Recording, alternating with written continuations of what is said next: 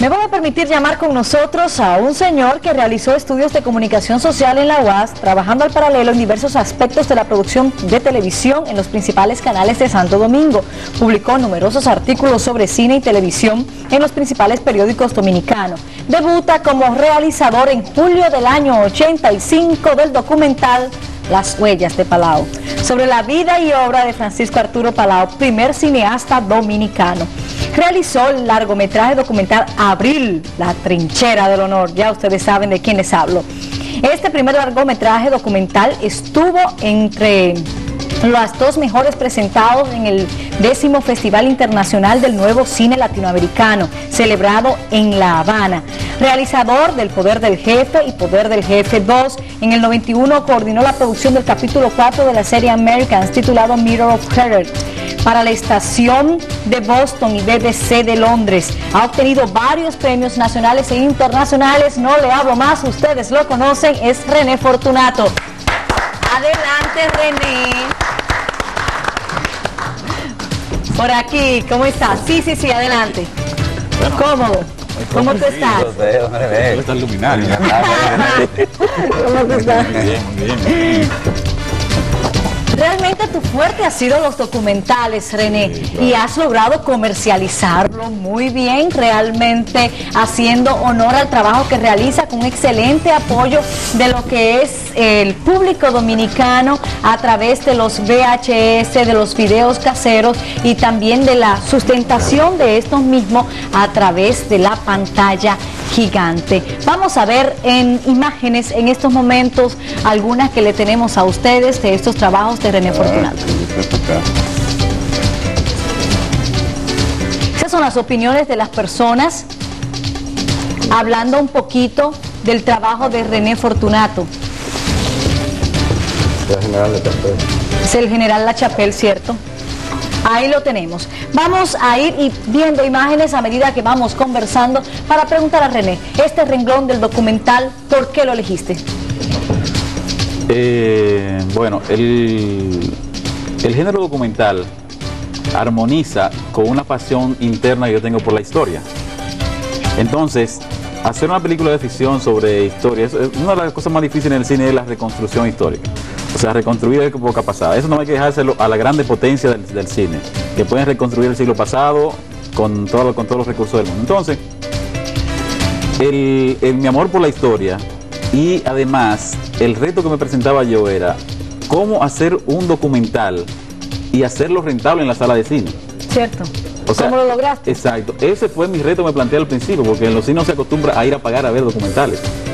Entonces, ¿cómo yo podría hacer una historia de hora y media? Porque los documentales suelen ser de menos de media hora o de menos de una hora. ¿Cómo yo podría hacer un largometraje documental y que la gente no se aburriera en el cine? Ese fue la- mi primer reto que yo me propuse cuando empecé con el género documental. ¿Cómo lo logré?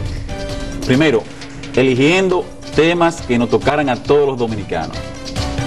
Eliminando de mi mente la pretensión de conquistar público internacional. Mis documentales llegan ahora a toda parte por la gente que se interesa por la República Dominicana, no porque mi trabajo se interese en conquistar al público, le digo extranjero. Este trabajo está hecho para la nación y por la nación dominicana. Por eso tuve la trinchera del honor, por eso tuve la reconstrucción de 30 años de historia a través de la dictadura de Trujillo en el poder del jefe. Entonces, pero claro, eso yo lo puedo decir ahora. Pero en 1988, cuando yo fui a pasar con toda mi timidez mi documental La trinchera del honor en un cine, yo fui con todo el miedo del mundo, ¿ves? Con el temor de que eh, eso no le iba a gustar a la gente, precisamente por eso, porque no hay la tradición de ver documentales. Y eso fue increíble lo que Bueno, entonces el respaldo de la gente, yo realmente estoy muy agradecido del público porque el respaldo de la gente que me ha estimulado a mí a seguir con el género documental y a seguir haciendo ese tipo de trabajo con esa característica. ¿Cuántos trabajos llevas? Bueno, ahora mismo tengo cinco largometrajes documentales y ocho porque tengo tres cortos. Bueno, entonces en total tengo ocho trabajos. Este lo voy a mencionar, bueno, los tres del poder del jefe, la Sí. trinchera del honor y la herencia del tirano. Más eh, tras la huella de Palau y tengo uno que es sobre un homenaje a Fran Almanza, que se llama Imagen de un artista y tengo otro que se llama Caribe. En total son ocho trabajos. Que están a la venta ahora mismo en del país. Puede llamar y localizar al 1200 del exterior. No, uno 200 cine. 1200 Uno cine. 200 Puede cine. llamar y 200 adquirir. cine de todo el Porque el país. hombre maneja el mercadeo y la No, claro, el hombre está parado. No. René. ¿estás viviendo de tu trabajo cinematográfico? Desde hace muchos años. No, yo quería que tú me lo dijeras, yo lo sabía. no, no, fue desde, después de la trinchera, yo creo que desde el 90 para acá, porque en la trinchera del honor eh, yo hice un juramento personal para mí. Dije, ya no vuelvo a trabajar asalariado. Ya me voy a dedicar a mi trabajo y me voy a dedicar por ahí. Entonces saqué, salí con el poder del jefe 1 y ahí sí me fui a Nueva York. Aquí estamos viendo imágenes. Exacto, ese es eh, la, la- mi último trabajo, la herencia del tirano. ¿Ve? Y entonces ahí fui creando mi, mi- mi circuito de, de, de distribución. Porque como decía, no sé cuál de los ángeles era que lo decía, el gran problema del cine es la distribución, sobre todo el cine latinoamericano. Eso no hay que llamarse Ángel para decirlo. Exactamente. Es universal. Exacto, ese es el gran problema. Entonces yo, ahí vino, porque ese otro ingrediente, el formato del VHS y el, y el video, video home system, ¿no? el VHS, que le daba la oportunidad de uno llegar a las casas de la persona con su trabajo. Entonces eso, eso armonizó con el género que yo eh, eh, realizo, que es el género documental. Entonces yo digo, mi trabajo también, una característica que yo le he dado es que no tenga interés transitorio, sino interés permanente. Y que sea también como un asunto de consulta, Claro. de volver al pasado, de recabar nuestras informaciones históricas y podérsela presentar a las nuevas generaciones también se vuelve un aporte eh, significativo e interesante. Claro. Palao, ¿qué significación tiene para ti como personaje del cine? Bueno, eh, Palao, mi, mi distribuidora se llama Videocine Palao. Sí, por eso lo pregunto. Sí, Y tiene esa significación porque mi trabajo está profundamente ligado a la nación dominicana. Francisco Arturo Palao Pichardo fue el primer dominicano que hizo cine aquí en 1920. Y yo hice un, mi primer trabajo fue un documental en homenaje a él. O sea, yo reconstruí eh, con testimonios y pedacitos de películas y fotografía esa experiencia de este señor. Y en homenaje a él, que no me vende ninguna vinculación familiar, en homenaje a su iniciativa, entonces yo digamos que he recogido los bates, que él, eh, o sea, estimulado por su acción, he reconstruido parte de la historia con esa bandera, con la bandera de Palau. Y eso significa para mí, un, el, el- el primero que dijo por aquí es, y yo levanté y he querido seguir por aquí. Con relación a la distribución, y hablamos del país, de, la- de la- de los propósitos que, que no se hace el país para ayudar, que no hace el país para ayudar al cine, no solamente está el hecho de que sea el gobierno que físicamente ofrezca dinero, pon tú que no lo tenga.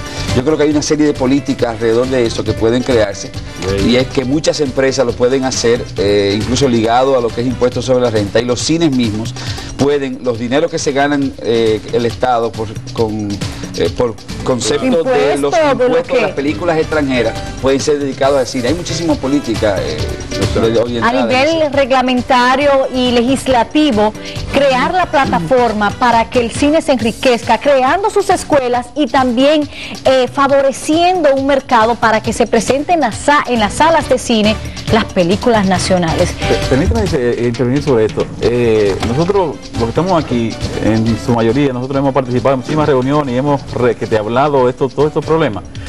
Y yo he estado pensando que será muy difícil que eso se logre hasta que nosotros no nos convirtamos en un elemento de presión, porque ninguna autoridad, ningún gobierno aquí hace nada sin presión. Hasta que nosotros, o sea, me refiero al grupo que está vinculado a la industria del cine, no seamos un elemento de presión, que digamos, hay que hacer esto y necesitamos esto y tengamos esto para presionar, cualquiera que sea el mecanismo de presión, difícil. Inventar una película de esa de, de de esa que ha matado gente. Exactamente. Aquí, para cada, para cada gobierno una. Una amenaza. Voy a Algo tirar así. esa, ¿eh? Sí, Voy a no, hacer esta. Exacto. Tú se la manda, mira lo que tengo aquí, Sí. tú me legislas o yo la lanzo. No, es así, es- son gritos en el desierto. Claro, nosotros No esto pasa estamos- nada. Sí, esto que estamos hablando No en público, nada. lo hemos hablado nosotros en privado y en reuniones. Yo entonces yo le dije, señores, ¿cómo vamos a estar? Dije, Ellos están, ellos están conscientes, ellos saben la importancia, ellos también lo saben, pero hasta que nosotros nos pongamos en más, como dice, eh, digamos, vamos a amenazar con hacer una película denunciando, o vamos a poner una huelga de alguien frente al palacio. Es presión que ellos necesitan, y presión, digo, no solamente este gobierno, el que venga el día anterior, ¿entiendes? Para que entonces, Mentalidad. sí, no para que entonces tomen esas medidas, se legisle y se, haga- se incluya toda esa idea en proyectos legislativos que estimulen la industria. Yo te pregunto y le pregunto a otro evidente, ¿qué sector de la economía dominicana se ha desarrollado aquí sin el respaldo del Estado? Todos han tenido un estímulo del Estado. Entonces, si queremos desarrollar la industria, tenemos que tener un estímulo del Estado, no dávida, no, estímulo. Vamos a dejarlos ahí porque ya se calentaron. Nos vamos a unos mensajes comerciales y cuando regresemos vamos a averiguar cuál es el personaje de la historia.